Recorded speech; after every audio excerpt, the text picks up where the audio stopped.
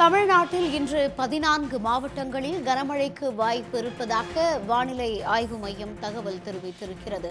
கோவை தேனி திண்டுக்கல் தென்காசி விருதுநகர் உள்ளிட்ட பதினான்கு மாவட்டங்களில் கனமழை பெய்யும் என்றும் ஒன்பது மாவட்டங்களில் ஓரிரு இடங்களில் மழை பெய்யும் என்றும் தற்போது வானிலை ஆய்வு மையம் தகவல் தெரிவித்திருக்கிறது.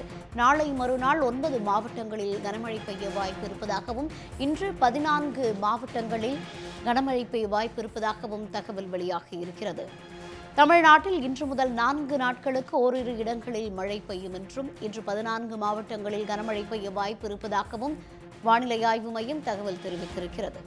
திண்டுக்கல் மதுரை தேனி நீலகிரி கோவை தஞ்சை புதுக்கோட்டை மாவட்டங்களில் ஓரிரு இடங்களில் கனமழை பெய்யும் என்றும் கோவை தேனி திண்டுக்கல் தென்காசி விருதுநகர் மாவட்டங்களில் நாளை கனமழை பெய்யும் என்றும் மதுரை சிவகங்கை புதுக்கோட்டை தஞ்சாவூர் மாவட்டங்களில் நாளை ஓரிரு இடங்களில் கனமழை பெய்ய வாய்ப்பு இருப்பதாகவும் கடலூர் விழுப்புரம் திருவண்ணாமலை செங்கல்பட்டு கள்ளக்குறிச்சி மாவட்டங்களில் நாளை மறுநாள் கனமழை பெய்ய வாய்ப்பு இருப்பதாகவும் காஞ்சிபுரம் திருப்பத்தூர் வேலூர் ராணிப்பேட்டை மாவட்டங்களில் நாளை மறுநாள் ஓரிரு இடங்களில் கனமழை பெய்ய வாய்ப்பு இருப்பதாகவும் இன்று முதல் நான்கு நாட்களுக்கு தமிழ்நாட்டில் ஒரு சில இடங்களில் கனமழை பெய்ய வாய்ப்பு இருப்பதாகவும் சென்னை வானிலை ஆய்வு மையம் தகவல் தெரிவித்திருக்கிறது.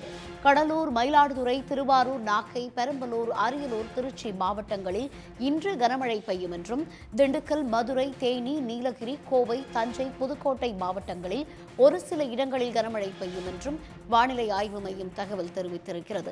இன்று பதினான்கு மாவட்டங்களிலும் நாளை ஒன்பது மாவட்டங்களிலும் கனமழை பெய்ய வாய்ப்பு இருப்பதாகவும் தமிழகத்தின் அநேக இடங்களில் இன்று முதல் அடுத்த நான்கு நாட்களுக்கு கனமழை பெய்ய வாய்ப்பிருப்பதாகவும் வானிலை ஆய்வு மையம் தகவல் தெரிவித்திருக்கிறது.